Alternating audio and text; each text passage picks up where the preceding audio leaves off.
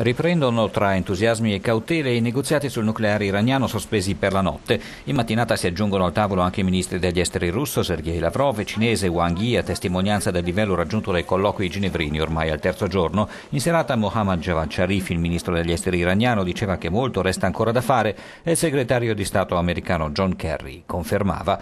Ma la sensazione è che un accordo di portata storica sia ormai vicino. Ieri sera Barack Obama ha aggiornato il premier israeliano Benjamin Netanyahu e di fatto il vertice trilaterale che ha visto impegnati Zarif, Kerry e il capo della diplomazia europea Catherine Ashton torna stamattina ad essere un 5 più 1 con tutti i ministri degli esteri, Stati Uniti, Unione Europea, Germania, Cina e Russia, oltre all'Iran.